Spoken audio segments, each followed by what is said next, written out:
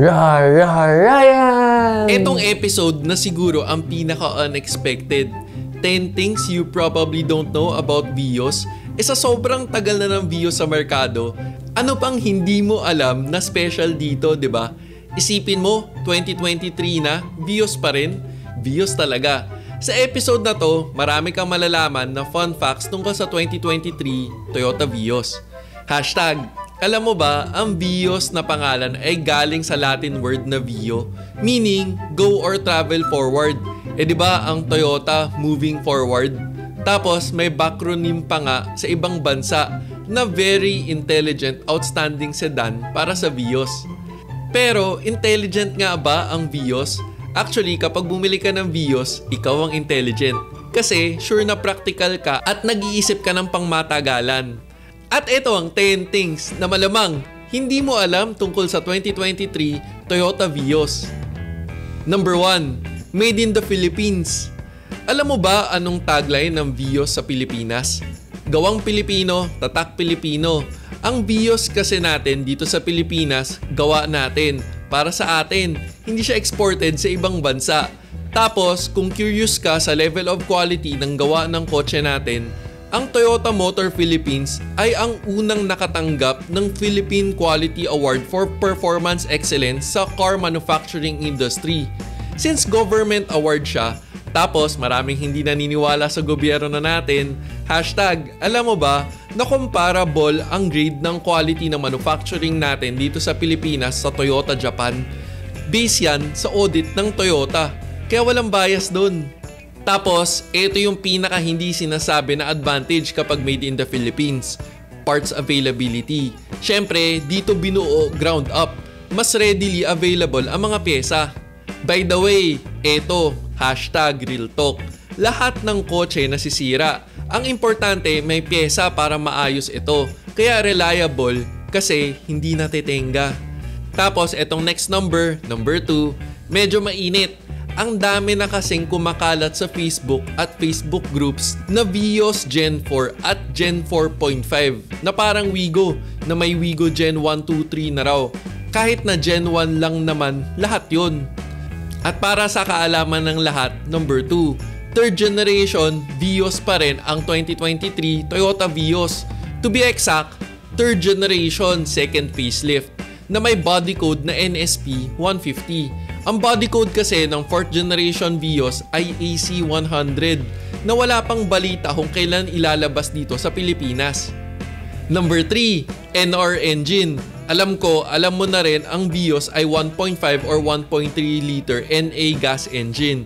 Pero etong NR engine, 2016 lang nag-umpisa gamitin. Yung mga mas luma, NZ engine nun. Anong big difference? Dual variable valve timing or in short, dual VVTi ang NR engines. May engine software upgrade rin para sa mas magandang engine performance and improved fuel economy. Number 4, Continuous Variable Transmission o CVT. Yan ang nakasulat sa brochure. Pero ang hindi nakasulat, Toyota Direct Shift Transmission ang gamit sa 2023 third generation Toyota Vios. Kasabayan nito nung pagpalit ng NR engine ng Vios dito sa Pilipinas. Number 5, Global Outstanding Assessment Technology. Malamang first time mo narinig to, no? Actually, safety technology to ng Toyota. Normally, may two types of safety technology, yung active tsaka passive. Ano yung active? Yung may movement na kasama or may nangyayari tulad ng biglang pag-apak ng brake Pwedeng may brake assist, electric brake distribution, or anti-lock braking system. Kapag passive naman, yung wala kang ginagawa pero alam mong safe ka. Hashtag, alam mo ba ang Global Outstanding Assessment ay passive safety technology ng Toyota. Isa sa mga goals kasi ng Toyota ay makagawa ng safe na sasakyan para sa lahat. Hindi lang yung sakay sa loob, pati mga pedestrians at ibang kotse. Malamang narinig mo na yung crumple zone. Isa yan sa Global Outstanding Assessments ng Toyota. Gets mo ba? Safety for everyone. Kaya hindi porket mas matigas ang kaha, mas mabuti. At speaking of safety, naghahanap ka ba ng magandang engine oil para sa kotse mo? Liquimoli mo na yan! Tapos, Moligen, para the best. para sa longer engine life and lower fuel consumption. Sa technology na Molygen, sure na maximized ang engine performance and engine protection to the molecular level. Kaya para sa next change oil mo, Molygen ng Liquimoli mo na yan. Number 6, 5 stars ASEAN NCAP. Malamang, ang bigat ng number 5 na Global Outstanding Assessment Technology tapos hindi 5 star. At may ISO fix ang 2023 Toyota Vios dito sa Pilipinas. Alam mo na ibig sabihin yan? Eh 'di ba ang ISO fix ang International Safety Standards for Child Seats. Safe kahit na bata ang sakay. Kaya number 7, People's Car of the Philippines. Yan ang tawag dito sa Vios. Ang third generation Vios ay nag-umpisa ng 2013 at ever since, number one selling car siya dito sa Pilipinas. 10 years straight. At ito rin ang preferred gamitin ng taxi operators dito sa Pilipinas. Normally, ang katapat niyan kapag number one ka na people mover, isip ng tao, boring, hindi exciting, masyadong practical at hindi kaya tumakbo. Kaya number 8, meron siyang motorsports background. Hashtag, alam mo ba na every year gumaganap ang OMR Vios Cup? Malamang nasa isip mo, anong paki ko sa Vios Cup? Eh hindi naman ako racing magmaneho. Actually, ito yung hindi sinasabi tungkol sa Vios Cup. Nauna, pangbugbugan. Matibay ang kotse, kahit anong maneho.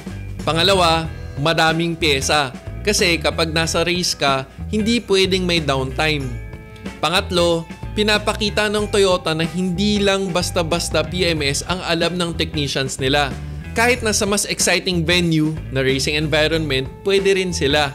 At pinapakita rin nila gaano kalalim ang alam nila sa Vios. Lakas, 'di ba? Teka, balik muna tayo sa mas simpleng usapan. Hashtag, alam mo ba na may battery palang Hitachi na ang pangalan na ngayon ay Toflong Battery? Tapos, ang slogan ng Toflong ay the heart of the vehicle. Kaya dapat, literal na tough na at long-lasting ang battery nila. Mga Japanese talaga, masyadong literal. At ito rin ay ginagamit na OEM battery ng mga Japanese car brands. JDM, number 1. Number 9 power window sa lahat ng variants. Kung nanonood ka sa akin, meron ako isang kotse na ginawa ng 10 things na malamang hindi mo alam. Manual ang rear passenger windows, pero automatic sa front. According sa brand na yon, hindi daw nila gagastusan kung hindi naman kailangan. Kaya masasabi mo bang tinipid ang Vios kung power windows lahat ng variants kahit na base variant? At number 10, mas madaming fun facts para sa 2023 Toyota Vios. Pansin mo ba ang bubong ng Vios? Medyo kulubot. May waves. Katamaran roof design yan. Katamaran with the C, hindi K. Hindi Tagalog na tamad na ginagawa ang bubong ah. Kapag sinearch mo sa Google, katamaran, mga bangka yan. Yung roof design ay parang yung ilalim ng bangka para sa hydrodynamics. Pero para sa kotse, syempre, aerodynamics. Isip kasi ng karamihan, sobrang simple lang ng design ng Vios. Tapos, ano tong mga pinagsasasabi ni Real Ryan? But wait, there's more. Meron pa tayong 2 fun facts para sa bonus round. Hashtag, alam mo ba, may air fins ang Toyota Vios. Etong air fin sa side mirror para kapag binuksan mo ang bintana, hindi grabe ang wind noise sa loob ng cabin habang tumatakbo ang kotse. At last but not least, meron siyang center marking assist para dito sa new drivers. Alam mo ba kung nasaan? andito sa dashboard. Mas na-appreciate mo ba ang 2023 third generation second facelift Toyota Vios dito sa Pilipinas dahil sa episode na to? Anong favorite mo sa mga nasabi ko? Comment below. Sana nakatulong. O teka, pag may nakalimutan man ako, comment down below. This is me, Real Ryan, bringing you real talk, real experiences, and real reviews. Don't forget to subscribe, like, and click the notification bell. Thank you for watching. Peace.